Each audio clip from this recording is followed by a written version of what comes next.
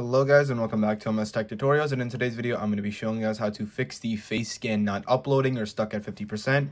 So now instead of like scanning your face in your room with like a light bulb etc or like your you know whatever uh, lamp and or instead of doing it in the bathroom etc etc you know just do it in a natural lighting. So go outside and do it that way. That was uh, it worked for me basically.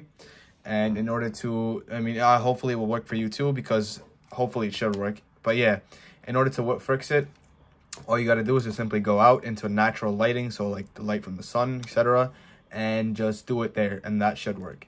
And yeah that was it for the video. Thank you guys for watching. Make sure to give the video thanks uh, thumbs up subscribe to the channel and have a great day